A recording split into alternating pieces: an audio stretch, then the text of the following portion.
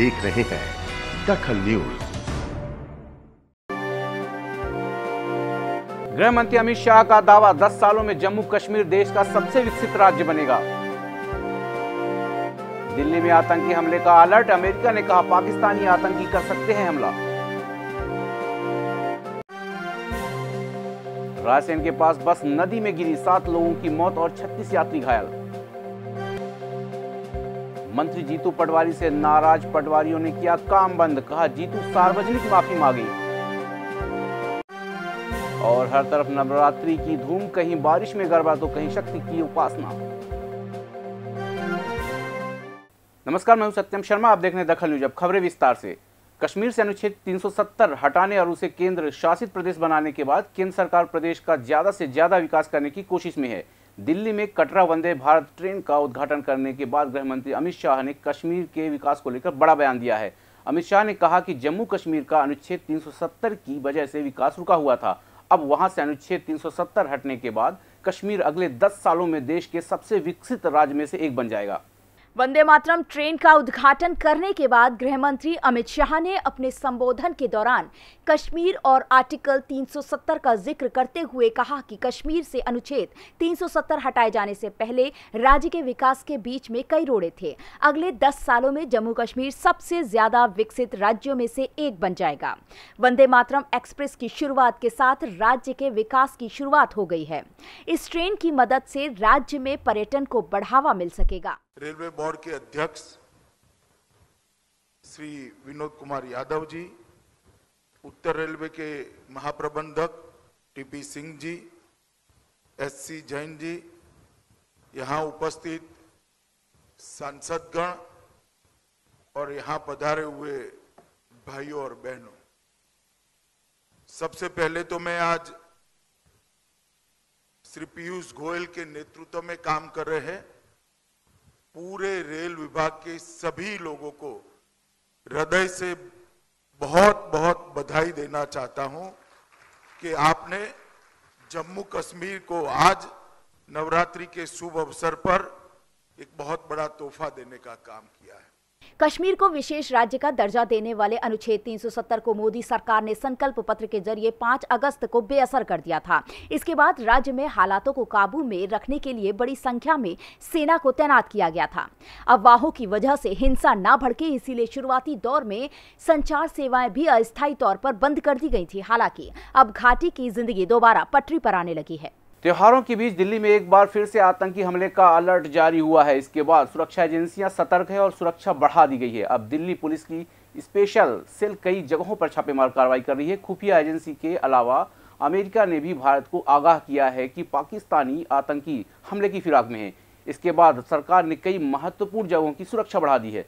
America ने आगाह किया है कि पाकिस्तानी आतंकी जम्मू कश्मीर से जुड़े अनुच्छेद 370 को खत्म किए जाने के कारण भारत में हमलों को अंजाम दे सकते हैं। इसके साथ ही अमेरिका ने यह भी कहा है कि अगर पाकिस्तान आतंकी संगठनों पर शिकंजा कसा जाए तो इन हमलों को रोका जा सकता है।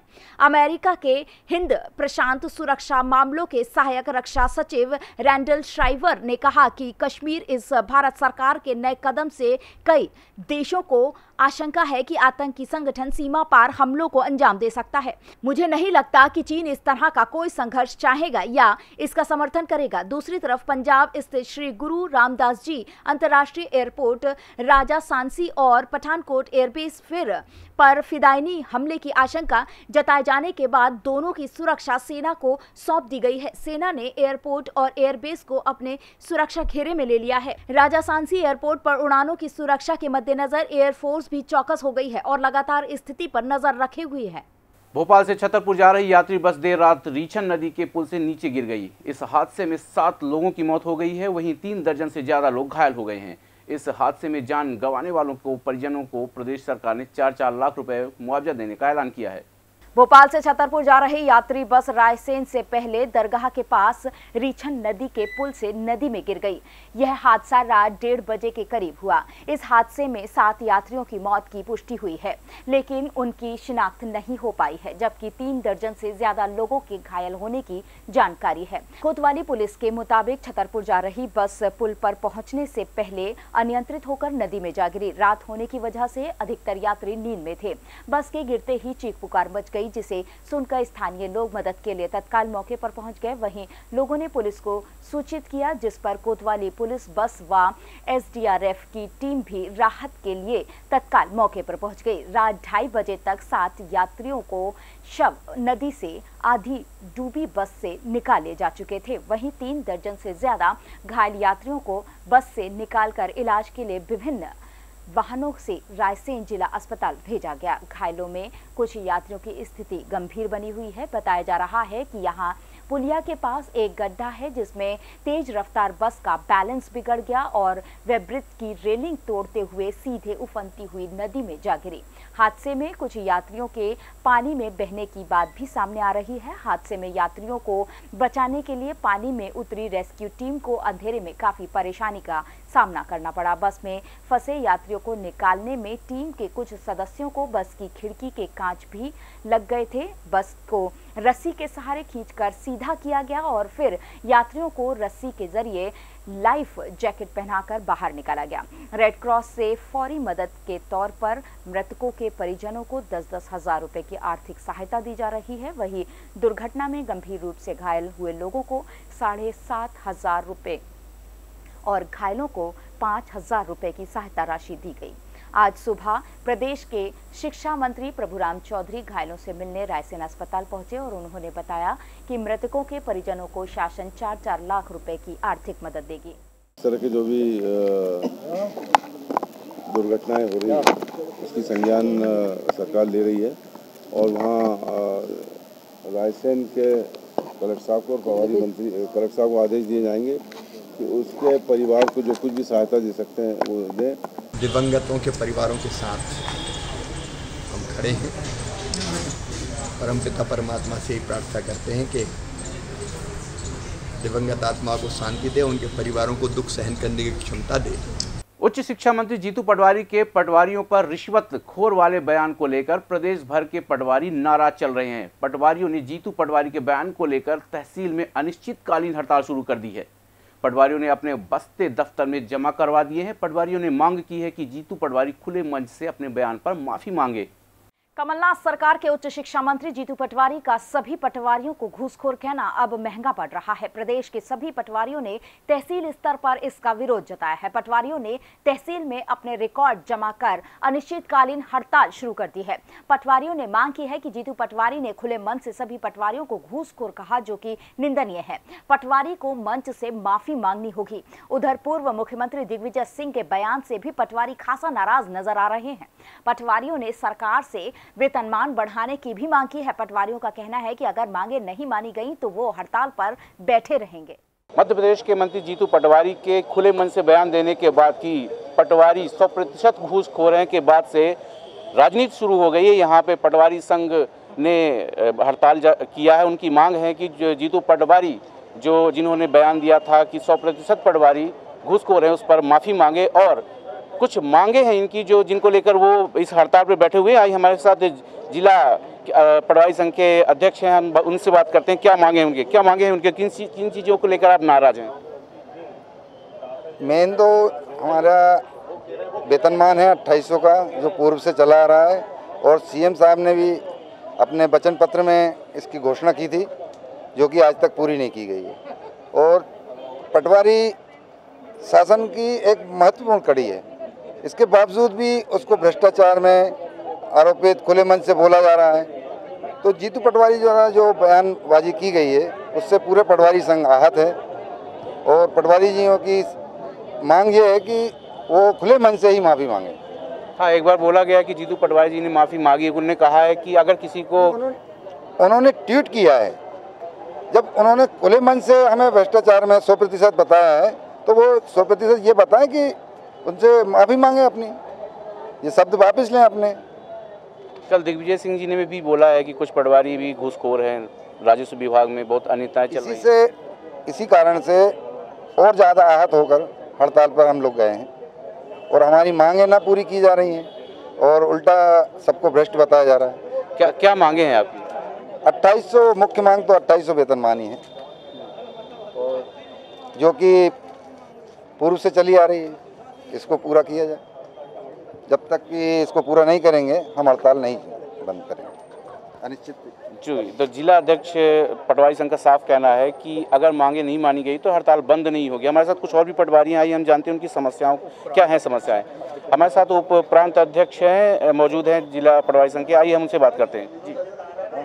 धर्मेंद्र सिंह कुशवाहा प्रांत अध्यक्ष क्या है? जैसा कि आपको ज्ञात है अभी कुछ दिन पहले खुले मंच से 100 परसेंट पटवारी भ्रष्ट बताकर जो आहत पहुंचाई है शासन ने, जिसका पटवारी संघ पूरी ज़ोर से विरोध करता है और कई बार, कई दिनों से पिछली सरकार से लेकर अभी तक कुछ मांगे हमारी जो लंबित पड़ी हुई हैं, सिर्फ़ आश्वासन देकर आज तक उस पर कोई कार्रवाई नहीं हुई।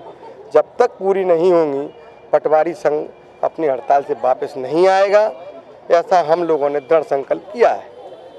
जैसा कि पटवारी को घूसखोर बोल दिया कि हंड्रेड परसेंट घूसखोर है, और माननीय पूर्व मुख्यमंत्री द्वारा भी कहा गया कि पटवारी बिना पैसे के कोई काम नहीं करते। मैं आप पत्रकार महोदय मीडिया के माध्यम में उनको अवगत करा देना चाहता हूँ कि वो नाम बताएँ, कौन पटवारी भ्रष्ट है तो उसके खिलाफ कार्रवाई करें। नहीं तो कहीं ना कहीं में समझ में ये आता है कि पटवारियों को भ्रष्ट घोषित करके कुछ ना कुछ छिपाना चाहते हैं। जीतू पटवारी ने तो बोला भी था कि अगर हमारे पास कुछ सबूत हैं किसानों से लोग हमारे पास कंप्लेन करके शिकायतें आई हैं उनकी शिकायतों के आधार पर ही बोला गया है कि कुछ पटवारी भ्रष्ट हैं। कुछ और ने। एक, एक बात और क्लियर की कि हम सिर्फ़ सभी पटवारियों को भ्रष्ट नहीं बोल रहे हैं इंदौर रीजन के जो पटवारी उन पर वो तो साफ़ वायरल हुआ है बाद में अपनी सफ़ाई पेश कर रहे हैं जो कि ट्विटर पर कर रहे हैं। ऐसा नहीं खुले मन से जब पटवारी को मतलब जब बदनाम किया जा रहा है तो खुले मन से ही माफ़ी मांगना पड़ेगी। अगर वो ऐसा नहीं करते तो हम सब अपनी स्वाभिमान के लिए लड़ाई आखिरी दम तक लड़ेंगे। उनका बोलना है कि कुछ शिकायतें भी उनके पास आई हैं पटवारी उसके खिलाफ शिकायत बिल्कुल कार्रवाई होना चाहिए। हम भ्रष्टाचार के मतलब ये नहीं है कि भ्रष्टाचारी के साथ हों। जो गलत करता है उसके साथ में हम नहीं है। लेकिन सभी को कहना गलत है। अगर मान लो कोई प्रशासन में कोई राजनेता अधिकारी कोई भ्रष्ट होता है तो क्या संवर्ग पूरा बदनाम होता है उनका? कहते हैं कि सभी राजनेता भ्रष्ट हैं। इस तरह पटवारियों पे आक्षेप लगा रहे हैं, जो कि इसकी हम कड़ी निंदा करते हैं। तो पटवारी संघ का साफ़ कहना है कि जब तक जीतू पटवारी खुले मन से माफ़ी नहीं मांग लेते और उनकी मांगे पूरी नहीं हो जाती, जब तक हड़ताल ये जारी रहेगी। अब देखना यह होगा कि मंत्री जी खुले मन से माफ़ी मांगेंगे या इन पटवारियों को पीछे हटना पड़ेगा। कैमरामैन तरुण यादव के साथ सत्यम शर्मा, दखल न्यूज़ भोपाल। ट्रैप मामले की जाँच खुद विवादों के घेरे में है। ऐसे में कमलनाथ सरकार के परिवहन और राजस्व मंत्री गोविंद सिंह राजपूत ने कहा कि इस मामले का निष्पक्ष रूप से खुलासा होना चाहिए।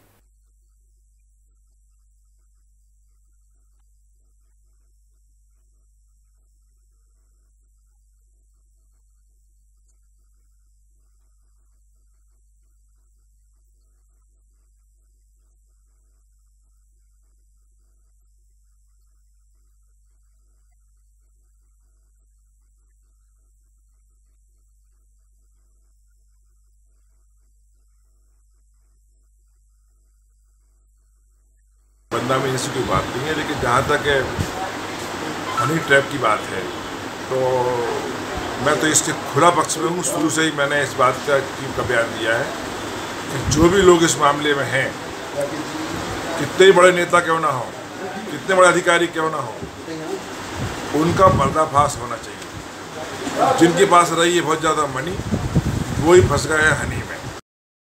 कहते हैं, ज़्यादा बोलना हानिकारक होता है, मगर हर बार नहीं। कभी कभी ज़्यादा बोलना आपको मशहूर कर सकता है। जी हाँ ऐसा ही हुआ। साठ से अधिक घंटे से एक व्यक्ति लगातार बोल रहा है और लोग उसे सुनने आ रहे हैं। सुनने वालों की बढ़ती भीड़ उस व्यक्ति का उत्साह बढ़ा रही है, जिससे वो बिना थके लगातार समाज सेवा पर बोल रहा है।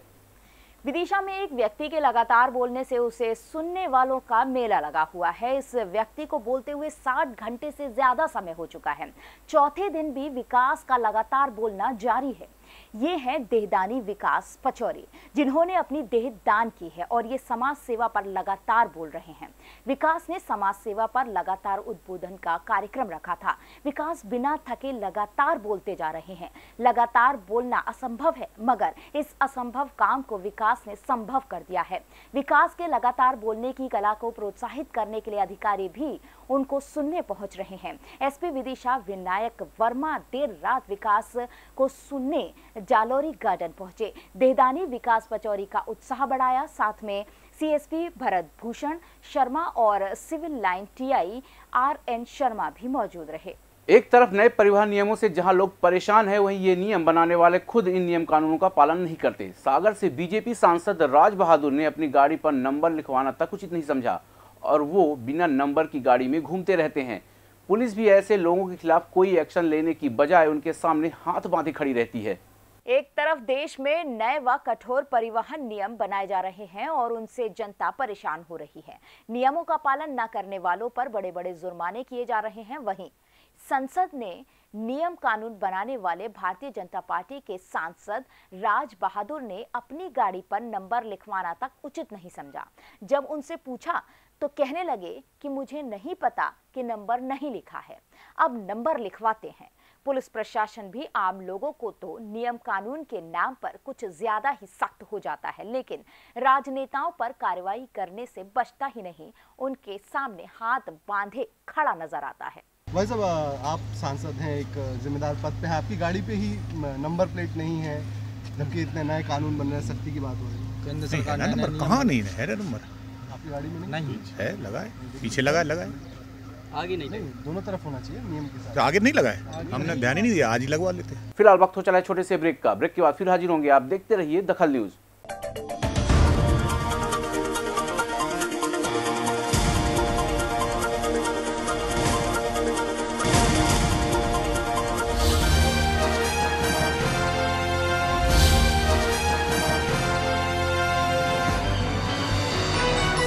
देख रहे हैं दखल न्यूज़।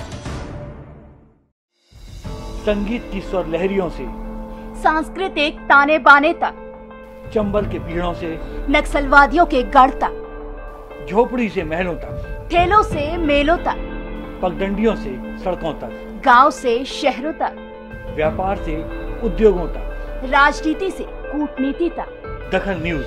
आपके हक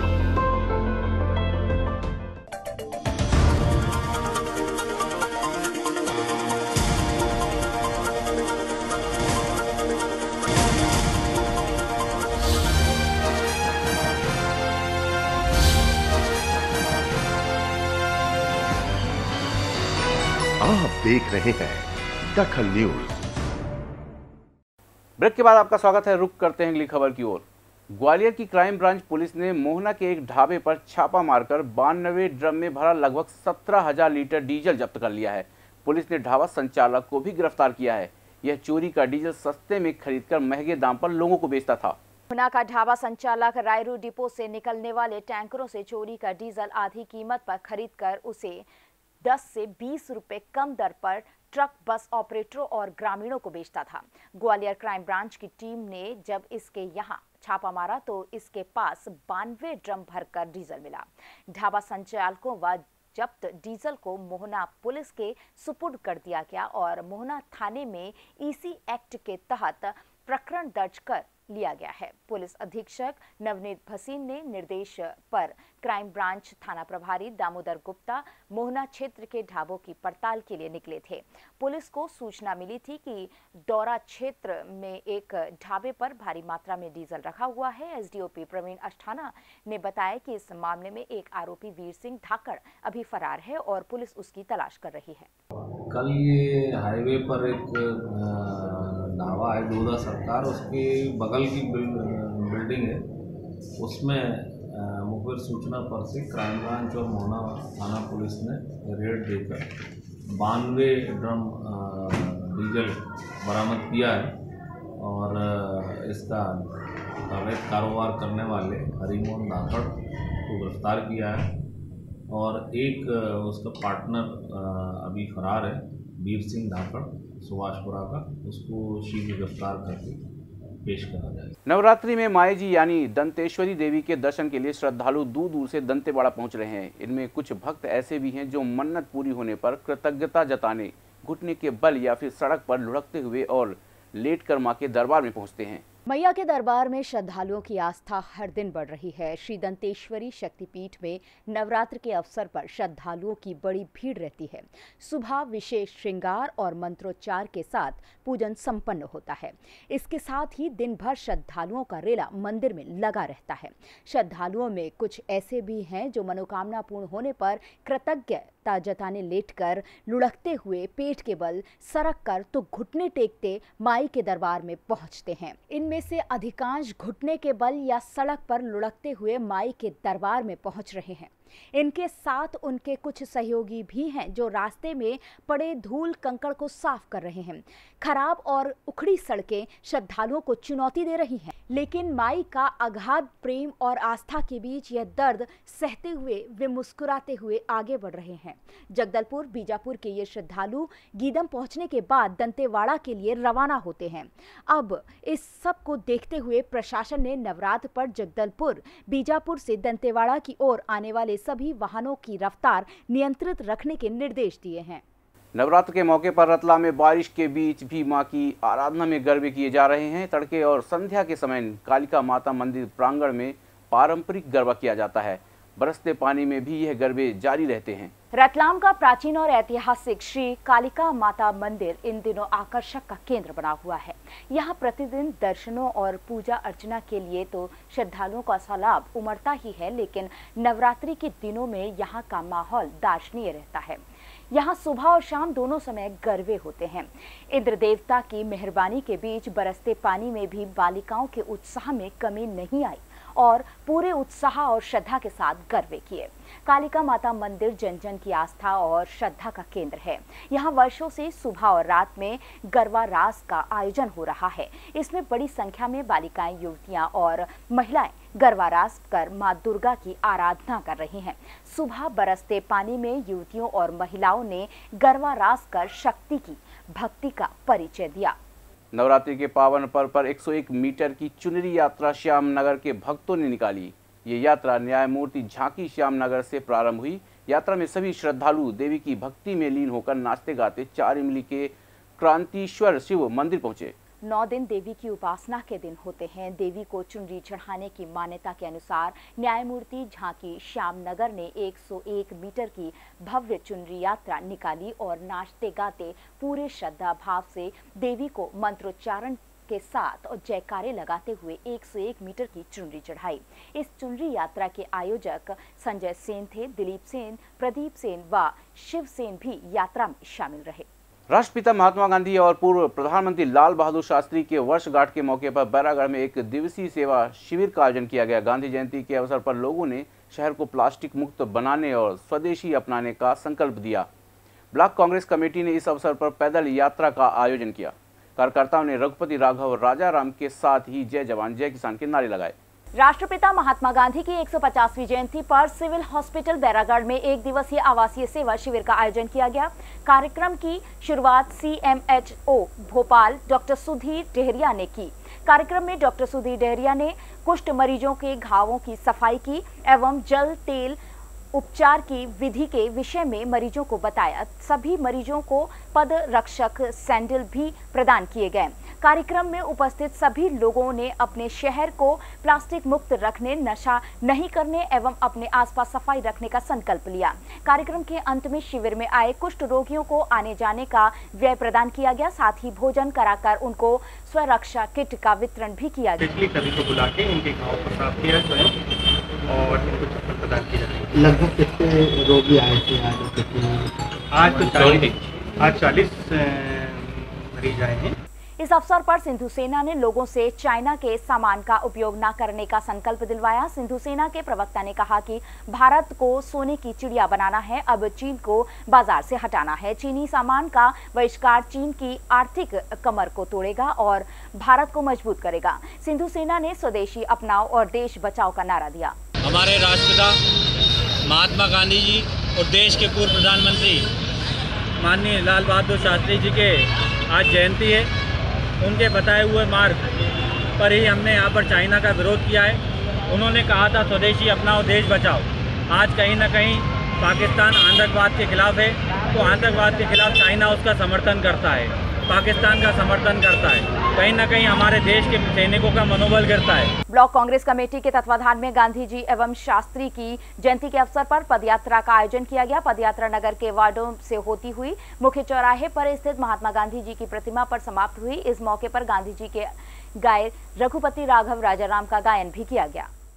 आज हम पंतनगर के जिस चौराहे पे गांधी प्रतिमा चारों तरफ़ से कब्जा था उसको 150वीं जयंती पर हटाकर आज इसे फिर फिर से रंग रोगन करके इस देश को हमने भाजपा से आज आज़ादी दिलाई है।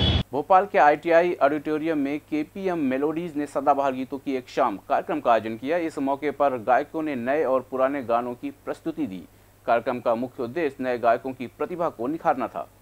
भोपाल के गोविंदपुरा स्थित आईटीआई ऑडिटोरियम में केपीएम मेलोडीज ने संगीत संध्या, सदाबहार गीतों की एक शाम कार्यक्रम का आयोजन किया। कार्यक्रम की शुरुआत दीप प्रज्वलित कर की गई। गायक कलाकारों ने सोलो और ड्विट गीतों की प्रस्तुति दी। कार्यक्रम में मोहम्मद रफी, लता मंगेशकर, किशोर कुमार सहित कई गायकों के गाने गाए गए। कार्यक्रम में दिल की नज़र से कस्मे वादे, प्यार वफा, सब तेरे नाम का दीवाना जैसे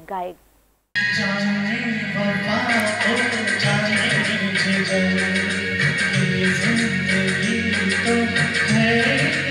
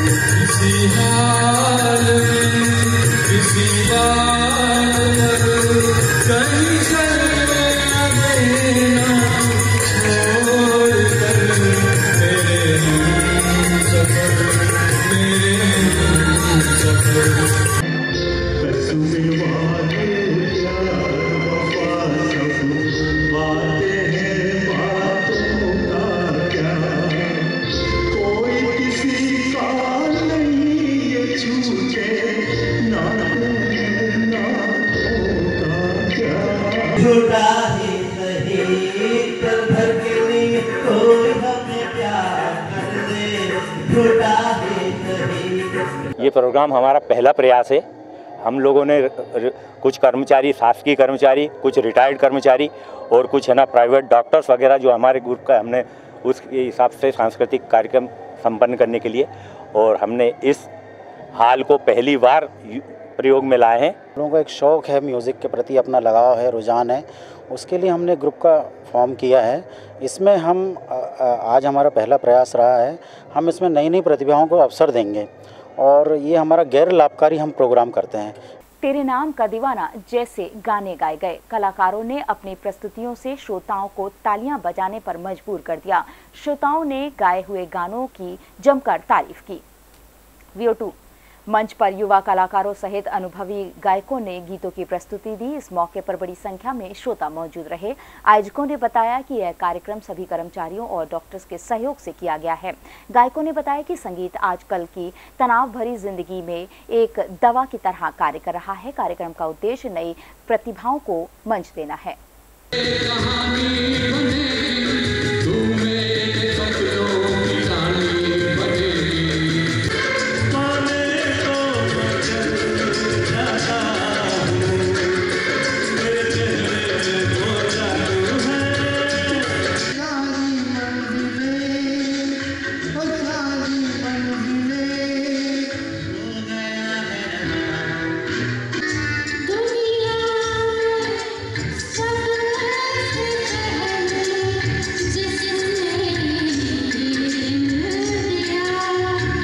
कलाकार हैं, वो भी एक से एक आर्टिस्ट हैं और इसमें 70 परसेंट आर्टिस्ट ऐसे हैं जिनको पहली बार स्टेज यहाँ पर मिल रही है।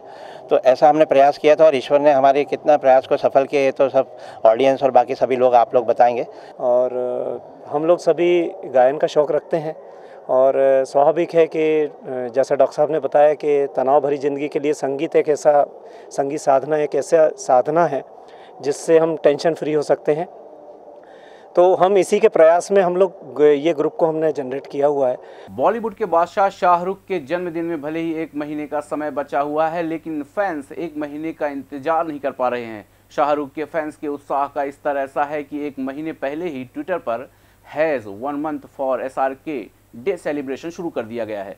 बॉलीवुड के बादशाह किंग खान शाहरुख खान के जन्मदिन के लिए अब भी एक महीने का समय बचा है, लेकिन ऐसा लगता है कि उनके फैंस 2 नवंबर तक का इंतज़ार नहीं कर सकते हैं। शाहरुख के फैंस में उत्साह इतना है कि उन्होंने ट्वीट पर वन मंथ फॉर एस के साथ 30 दिन पहले ही सेलिब्रेशन शुरू कर दिया है। हैशटैग अब माइक्रो ब्लॉकिंग साइट पर वायरल हो गया है, जिसमें फैंस अपने पसंदीदा अभिनेता की तस्वीरें और वीडियो शेयर कर रहे हैं। शाहरुख के बचपन की तस्वीरों को शेयर करने से लेकर उनके घर, मन्नत के बाहर इंतज़ार कर रही भीड़ की क्लिप तक शेयर कर रहे हैं।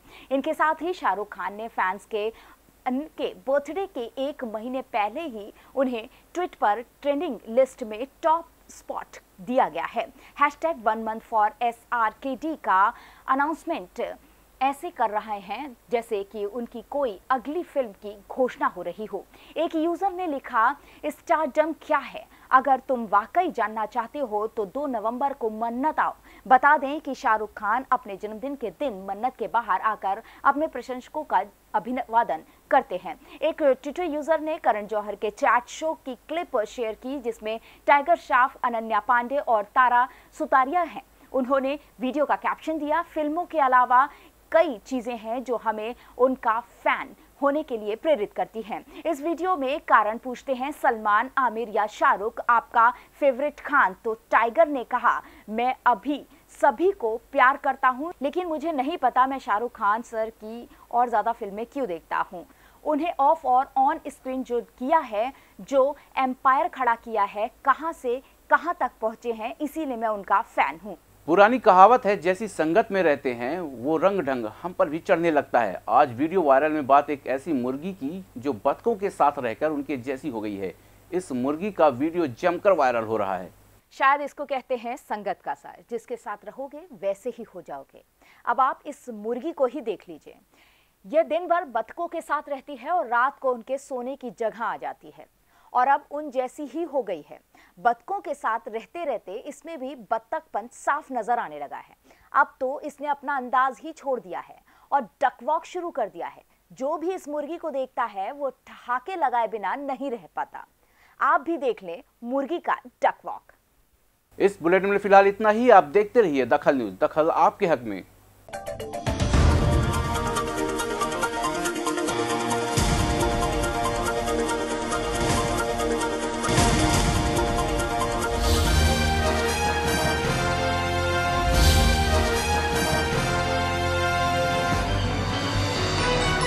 आप देख रहे हैं दखल न्यूज़। संगीत की स्वर लहरियों से सांस्कृतिक ताने बाने तक चंबल के पीड़ों से नक्सलवादियों के गढ़ तक झोपड़ी से महलों तक ठेलों से मेलों तक पगडंडियों से सड़कों तक गाँव से शहरों तक व्यापार से उद्योगों तक। राजनीति से कूटनीति तक। दखल न्यूज़। आपके हक